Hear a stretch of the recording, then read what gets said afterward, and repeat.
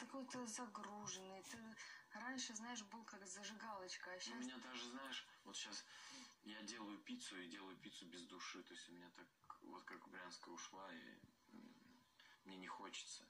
Не то, что не хочется, я знаю, как это делается, да. Но, а вот того вкуса нету, который раньше был. И- Я ну, я сейчас еще с ней поговорю. Она сказала, вечером даст ответ. Говорит, я хочу, но я боюсь.